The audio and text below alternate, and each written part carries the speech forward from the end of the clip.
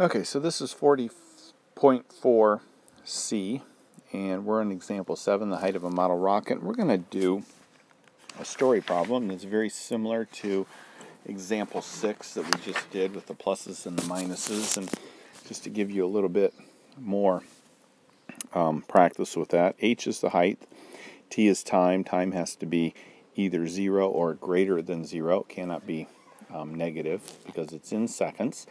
And what we're looking at is uh, during what time interval will the height of the rocket exceed 320 feet?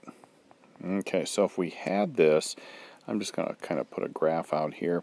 And if we have a hyperbola that's like that, because this is negative, and between this and this, this is when the height is above 320 feet between this time period and this time period because again on the x-axis that's our that's our time. So what we're looking for is the x value here and the x value here. Okay so anyway that's just kind of a real quick example there or a picture there that has um, an idea of what our answer is going to look like as far as if we were to graph it. So we've got this rocket being shot up into the sky, and uh, we want to know at what time periods it's it's at 300 at least 320 feet.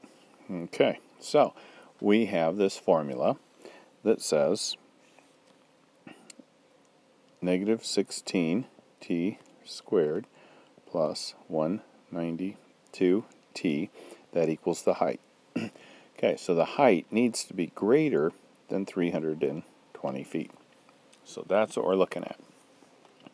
So let's go ahead, move everything to the left.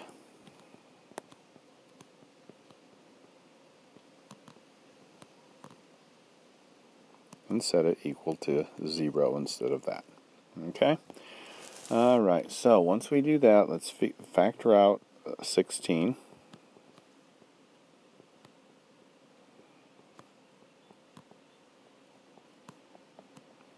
Okay.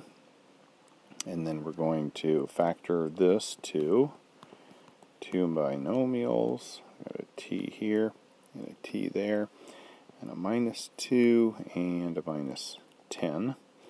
So my t here is 2, and my t here is 10. Okay, so what have I found? I found that um, my model rocket is 320 feet somewhere between or anywhere between 2 seconds and 10 seconds. So, in order to test this and make sure it's right, we've got t is 2. Uh, let's make these um, smaller since I don't have 10 on my graph. Let's do it half. Let's say that's 2, 4, 6, 8, 10. Okay, so there's and we're looking at finding out if the graph, once it hits 2 seconds and 5 seconds, if it's this distance here, starting here and ending there, is beyond 320 for those. Okay, so what we've got is we've got our two inter- or three intervals here. Okay? So we're going to use this here. So t minus 2 is uh, negative here. It's positive here and positive there. Okay, when you put a number in for t.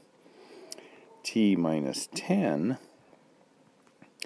in the left furthest, it's negative because let's say we put negative 6 in. Negative 6 minus 10 is negative 16, so our answer is negative. Um, it's negative here, but it's positive here because any number bigger than 10 minus this 10 is going to give me a positive number. All right, so when I multiply these two,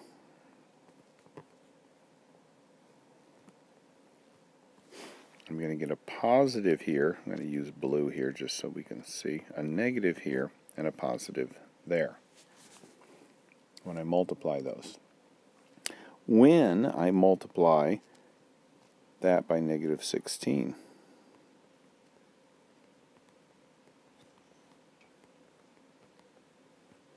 So what happens when I multiply a positive times this negative?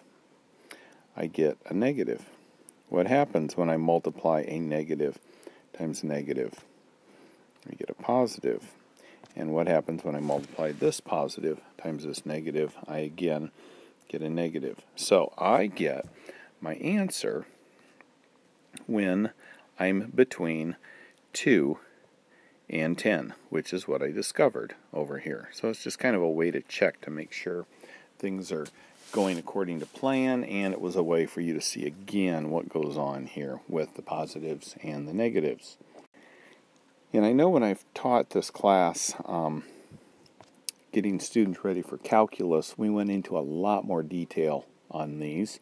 And don't know for sure whether this book will get us into all those details or not but let's let's keep plugging away and find out. Example 8 now example 8 I'm not going to do because that is using a graphing calculator and uh, you can plug those numbers follow the instructions there and get your your graph because that's what they're uh, looking for is using a graph to find out the answer there all right so let's go to uh, power inequalities, which basically means exponents that are inequalities. And we're going to jump right into example number 9 and uh, see if we can get you moving on there. The future value of $3,000 invested for three years at rate r compounded annually is given by this formula.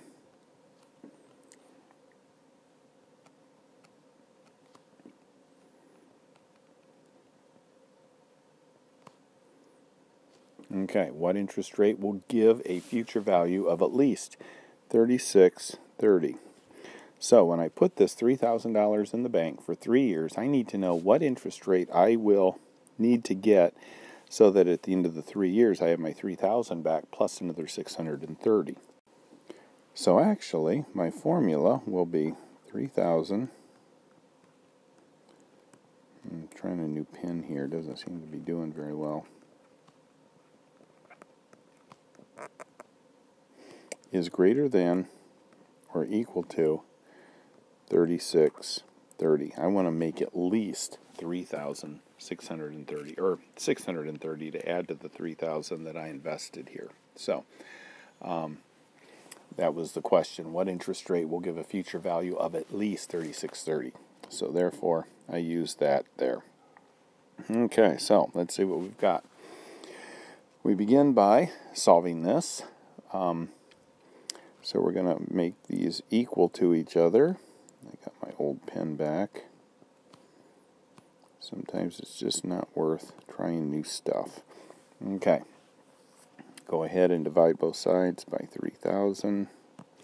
That goes away.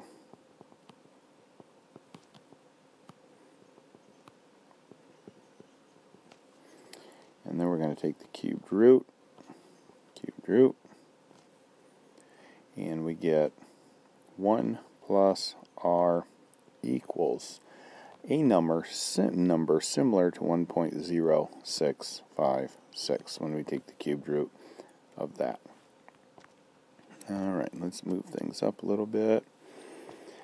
All right, so therefore r equals or is similar to, I mean, it's an estimate because our calculators don't go that far. We're just four decimal places over. So R equals that. This tells us that my rate is 0.056, which is 6.56%. So if I have an interest rate of 6.56%, um, I will be able to make at least $630 interest off my 3,000 and walk away with 3600 and $30. Okay, so that's pretty much um, what we've got there, and they've got a graph there that you can plug that into your calculator and figure out as well. All right, so just the last problem we have here is example 10, and it has to do with absolute values. And this is, um, gosh, it's one of those things that if you don't use it, again, you follow the cliche of losing it. So you've got some things we need to follow here. So we're going to look at A, and we're going to solve these. All right, so when you have a less than sign, or in this case, a less than or equal to sign, you can rewrite this as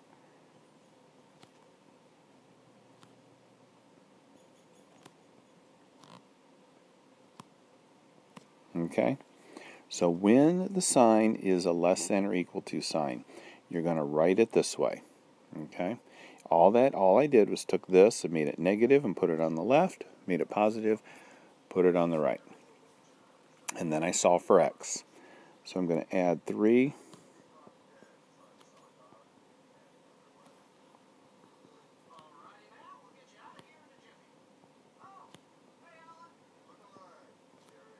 Okay, so I get that there. Keep going. Divide by 2, divide by 2, divide by 2.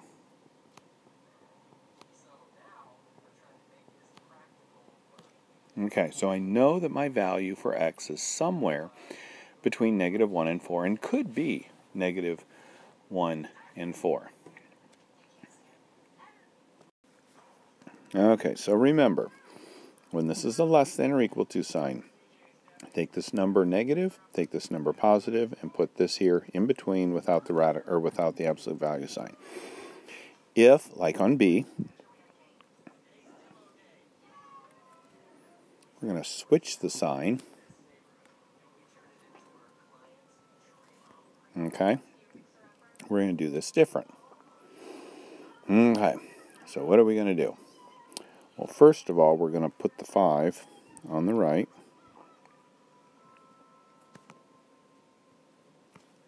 and it is greater than 5. Okay, the next thing we're going to do, and I'm not explaining why this works. I mean, I guess I can if you really need to know. It's just dealing with absolute values. What we're going to do is we're going to go 3x plus 4 is less than negative 5 so we take this number, make it a negative, switch that sign. Or is greater than 5. So greater than the original. So we're not doing anything. So we rewrite it this way without the absolute value. We write it this way without the absolute value. Switch the sign, change the sign of the number on the right. Okay? And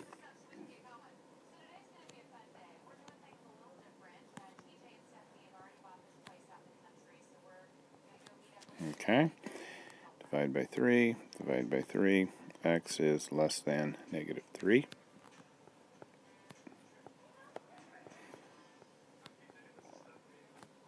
Okay. So I get that for an answer. So remember what I did. If it's a greater than sign, you move this number over, so we just have our absolute value over here. Then we write it as is, 3x plus 4 is greater than 5, one part, and then we write it as 3x plus 4 is less than. We switch the sign and we change this to its opposite because remember, whatever is in here, whether it's positive or negative, when we take the absolute value of it, we get a positive. Okay, so that's why we have two different equations. One is if we put a negative in, we get a positive. One is if we put a positive in, we get a positive. So that's why that is written that way. And that's it for 4.4C.